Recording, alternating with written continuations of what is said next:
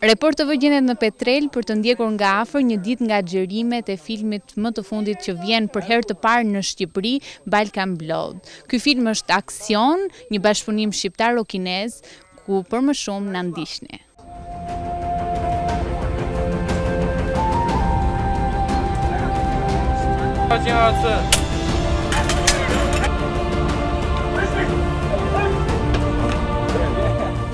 Filmi flet për një luftë gangsterësh të cilët vendosin rregullin në qytet, të njohur si Chuck Town. Porse e kujt ka qenë ideja për realizimin e këtij filmi në Shqipëri, na e tregon regjizori Iwan Çekui. Mendoj se që në fillim kjo ishte ideja ime. Kisha dëshirë që të realizoja një film në Evropë, kështu që së bashku me partnerin tim, Blemir Dervishin, Prej dy vitesh jemi marrë me përgatitjen e këtij filmi dhe kemi biseduar shpesh për Shqipërinë dhe sa mirë është këtu apo sa njerëz profesionalë gjen këtu dhe ndaj vendosëm të vijmë. Prej më shumë se një muaji grupi i Balkan Blood ndjek një axhendë. Çdo ditë zgjohemi herët për të punuar, vijmë në Petrel dhe vazhdojmë aksionin për më shumë se dhjetë orë punë. Pastaj realizojmë një mbledhje të shkurtër e largohemi, për të përsëritur të njëjtën gjë të nesërmen. Kui zbulon për Report TV se kur filmi do të jetë gati.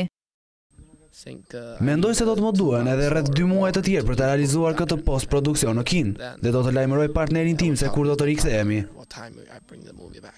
Por a ka regjizori kinez gjak ballkanasi? Po, e kam të tillë.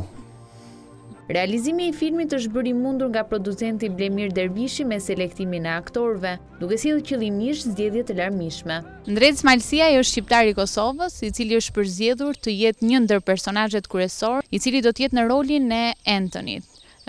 Ndrec, si u bëre pjesë e filmit? E ndëgjova nëpërmes portaleve se është hapë një audicion dhe është një bashkëpunim mes kinezëve dhe shqiptarëve, atëherë u interesova dhe erdha në Tiranë. Ndërkohë që një aktor tjetër i Balkan Blood është Xhelal Ferra, shqiptar i Maqedonisë. Si të duket bashkëpunimi me të huaj? Si ia dilni të merreni vesh? Shumë, shumë interesante. Megjithëse këta kinezët, edhe pse nuk i dimë gjuhën, po I kemi ato që përkthejnë prej kinezishtesh shqip, e ato bisedojnë, e neve na përkthejnë shqip, edhe ashtu kontaktojmë me ato, së shpërme. Ajo çka është interesante është edhe shtëpia ku po xhirohet një nga pjesët e filmit dhe e zonja e shtëpisë Lule Pareshi, e cila na kujton një nga vlerat kulturore dalluese të shqiptarëve, mikpritjen. A e quna në antin të antin shili.